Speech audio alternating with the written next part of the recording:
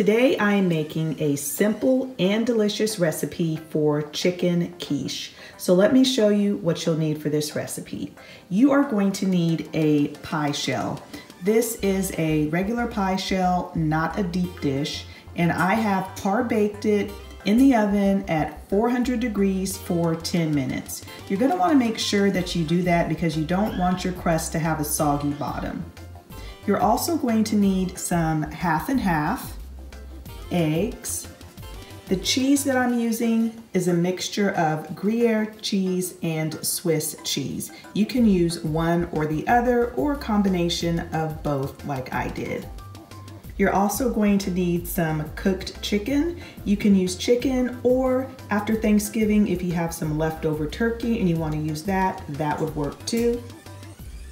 You're going to need some spices. Now, you don't have to use the same spices that I'm using. Use whatever you would like, but you're going to need some poultry seasoning and a little bit goes a long way. I'm also using garlic powder, onion powder, and salt. So let's get started. I'm going to start off by cracking my eggs.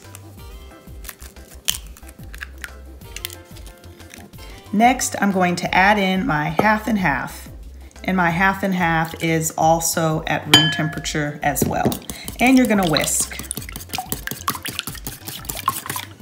And you're going to add in your seasonings and whisk some more. All right, so I've got my pie shell here, which has cooled off, and you're gonna add some cheese. And we like cheese, so I'm probably gonna add more than most people would. So just gonna add it to the bottom of your shell here. And then I am going to add my chicken, or again, if you're using uh, turkey, you're gonna add it here. And next, I'm just gonna pour my egg mixture on top. Okay, I am going to pop this in the oven for about 45 minutes or until that center has set.